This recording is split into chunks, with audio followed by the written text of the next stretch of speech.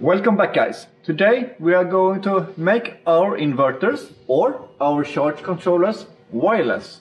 So if you want to do this as well and hook them up to something else than a cable to actually send the data and even in the future receive data or set data wirelessly, you should take a look at this video now.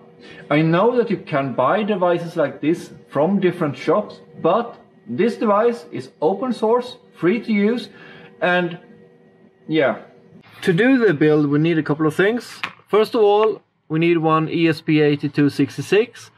You can of course go with ESP32 as well, but I have chosen the cheaper ESP8266 for this purpose, and it's good enough. The disadvantage here is that it only have one full-blown TX-RX or RS232 port, the serial port that is on the hardware side. So you can't debug it at the same time as you're running it and it can't program it when it is all hooked up. So before we're going to hook this up, you need to program it. But first, let's talk about all the gear that we need. So this is the ESP8266. You also need a TTL converter to convert the signals from this one towards the inverter because the inverter itself is around plus minus 5 volt or even up to 12 volt in terms of the serial port signals. This one here takes care of that logic, as you can see on the back side. It's a little bit hard to get focus. It says RS232 to TTL. Uh, I have all the links in the bottom here, and the components to do this is very, very cheap. Those two you need. Uh, you will be needing a couple of wires, of course. I'm using silicone-based wires. They are very easy to bend and work with. I'm going to use some kind of box to contain it all in and this is a pre-made or pre-bought box. Uh, rather small but it fits for this purpose. Um, you can of course 3D print one as well but I was lazy today and I have tons of these small boxes that I need to use so I'm going to use them. To connect it into the inverter, depending on if it is an PCM60X that it is in my case, you're going to use the RJ45 wires. So this manual here, so this video here is actually covering that part. You can use any RJ45 cable that you have laying around. You just need to make sure that the correct order inside here. But I have the drawings down below for that as well. So this is all the gear that you need. You also need to power this device and I checked the, the PCM60X and the MPI that I have and none of those are supplying any power on the serial port itself and that's a little bit too bad I would say. So I need to have an external powering for this one and I'm actually going to hook it up on the USB or on the micro USB port itself. But you can of course solder the wires together also. I'm going to use one 8266 on each device. So let's start by first programming this device and then we'll come back and build it. So now it's time to get the software onto the ESP8266. And there is basically two different ways of doing this. And either you go the normal way by programming it via the Arduino IDE, but then you need to have Arduino IDE downloaded, installed. You need to have all the libraries installed. And that can be a little bit cumbersome. I agree with that. So, but I actually added another way to do it, and that is I actually uploaded a secondary binary file that is pre-compiled for you just to run. I have made one that works with the D1 Wemos Mini, and it will also most likely work with other ESP8266, but I'm using the Wemos Mini, so that's the one I have built it for. Before you actually attach everything up, it's time to program it. You hook the Wemos Mini up to your computer via the USB cable. It's just a matter of plugging it in. And then you need to get some of the software. If you use Arduino IDE, you should get everything and just download the whole library. But if you don't, you can actually go into the source folder and you can see here we have a sourceino generic binary. And this is the one that you should be downloading. So go into that one and download that file. Next part is to actually flash this into the Wemos Mini. And there is many different softwares that you can use to do this. since I used a lot of Tasmotized hardware uh, with Tasmota running, I also use their Tasmotizer software. It works pretty good. There are others that you can use and you can use Python directly. But for me, this is the software I go to.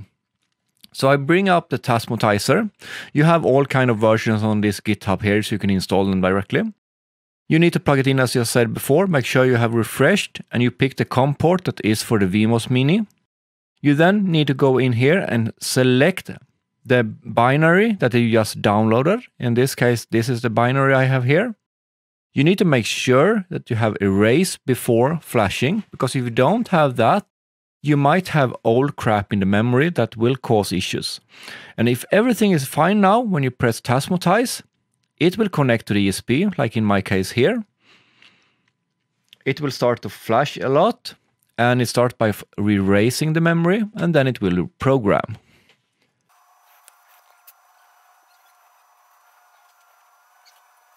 And that was a success. Don't forget to power cycle device the device now, otherwise you may get other strange issues.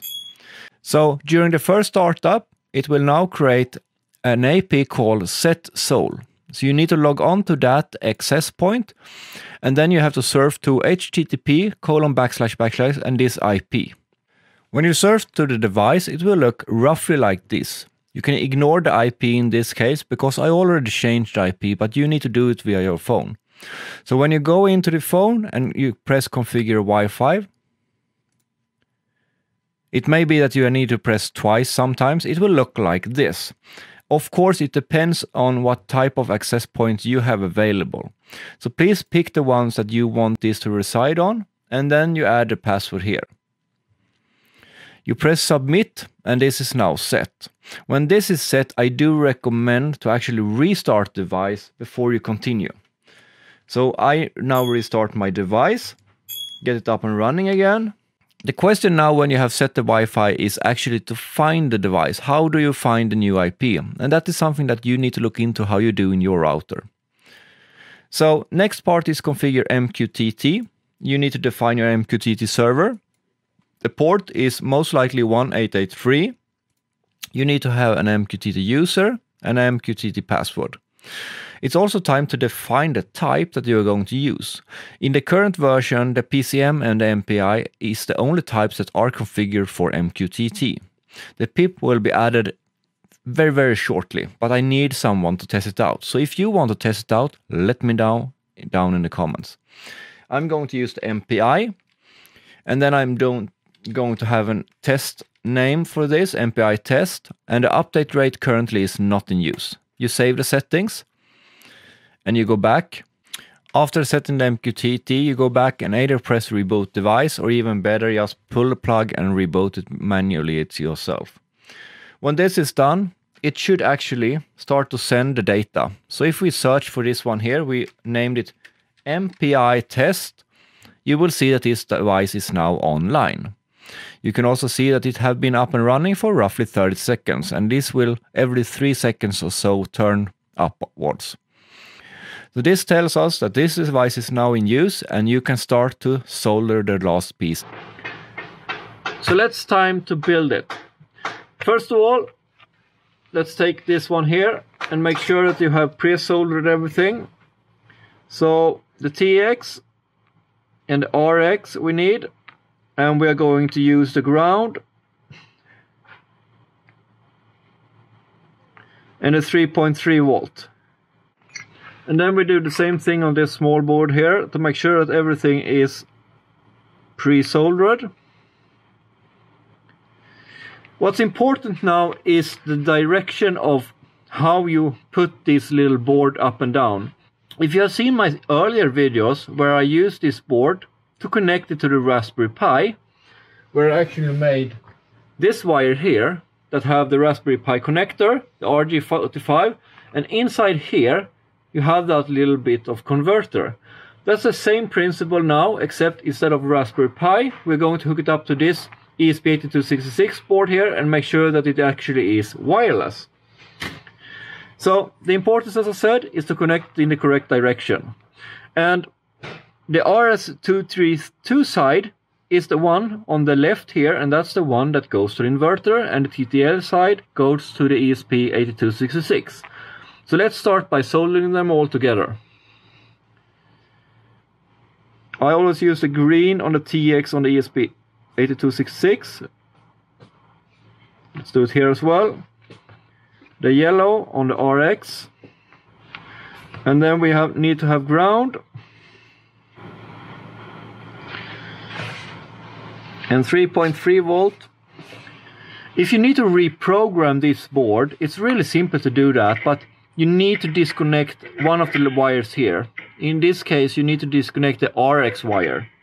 If you do that, you can actually program this afterwards, or you can actually add a switch as well to do it. And on the board, it's pretty simple. You can see the arrows, like the bottom one goes that way. That means that that is TX, and that should go to the RX there. And the green should go to the next one. So let me turn this around. So this one goes here. And then you have minus on the bottom here. And the positive goes to that one. So in this box, I'm actually going to add this switch to show you guys that it is possible to have it like that. If you want to reprogram it or change it, I recommend to have the switch, but you don't really need it. But I need it in this case because I'm still developing it.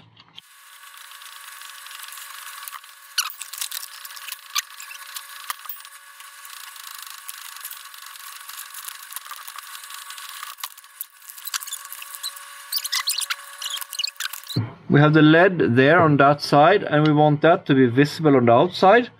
So we need to drill another hole and I also want the USB part to be able to reach it on the outside. I have no need for getting access to the reset button because that's not really needed in this case. So I'm going to mark out, drill another hole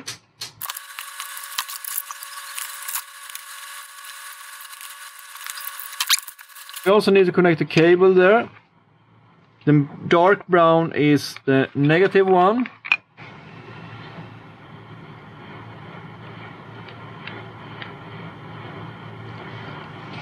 White orange is the TX from the inverter and that goes to RX on the TTL board.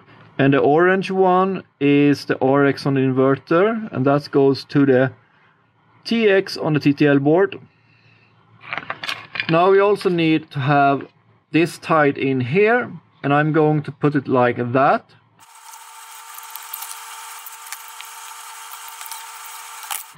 So let's put some hot glue here. Make sure that the hot glue is hot, otherwise it won't work really good. And keep the lead in the middle. You should be able to see the lead just a little bit there.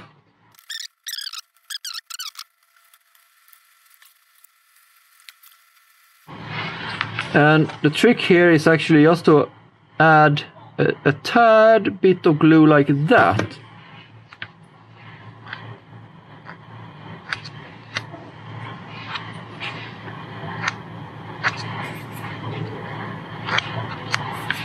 Because then it's airtight, but still it's see-through. So let me tie this up. We need to add two diodes and we're going to do that directly and I want them to be placed roughly around here one there and let's say one there. So the diodes I'm using is just normal 5 millimeter diodes and I'm using two resistors. The resistors is roughly 200 ohms I think and I'm going to drive them on the ESP board itself. So so we have two holes here and on the LEDs, you have one long and one short pin. The long one is the positive and the short one goes to ground. So always beware of that when you are putting them in. And since this one sits roughly like that, I want the green to be to the right. So let's put the red to the left. So now we need to tie them in and we have, it will be powered by D1 and D2.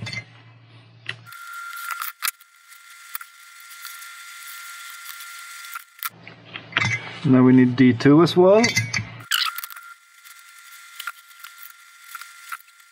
And then we have the negative here. And we have ground on that spot there.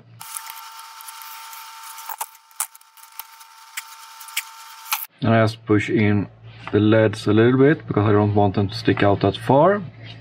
Then we add some hot glue on the backside. And let's go mount it. Double-sided tape here. Let's add that to the back side.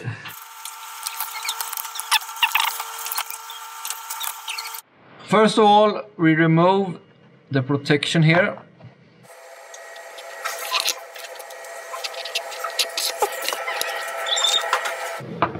And then we take this one and we're going to plug it in. So let's remove the old cable. And this one here is my old system. Uh, it won't be used anymore. So I'm going to put this one here, plugging it in, make sure it sits. So the cable actually go really, really nice here in the underside. Like that.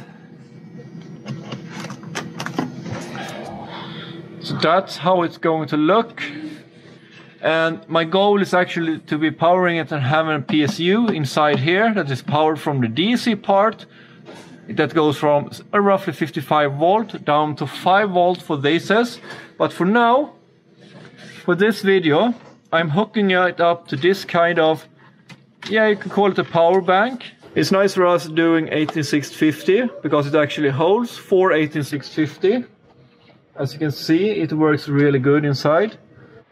And when screwed in place, it's time to put in the power. So you can see the red LED is lighting up. That means it doesn't have any contact with the inverter or the charger. And now it have. And now it's green. That means it now have contact with my MQTT server. And it's sending the data. So if we take a look at the MQTT part and I have logged in via MQTT Explorer and I browse parts that comes from this device itself, you can see that I'm sending uptime both in a human readable format but also in seconds. And I'm also sending some Wi-Fi details as you can see here. And I have the normal values for battery voltage, solar voltage, amp. So we have the wattage and we have the solar ampere.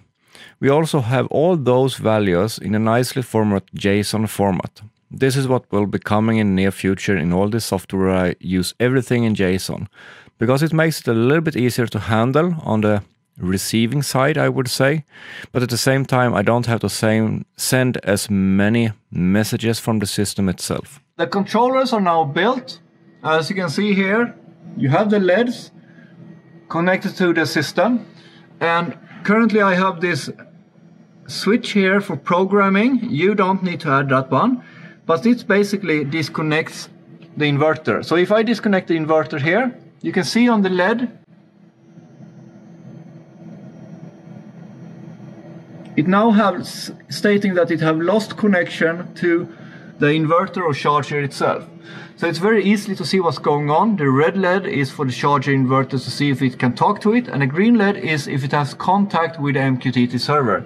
So if we add the cable back in, you can see that it doesn't take long until it actually have contact again and sending data.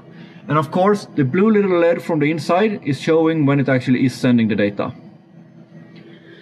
So if you like this video, please give it a big thumbs up. And if you want to support my channel and the work I do, please check out the links down below. Buy some gear, use the affiliate links, or you can just leave me a message of what you think of this video. So thank you guys and see you next time. Bye.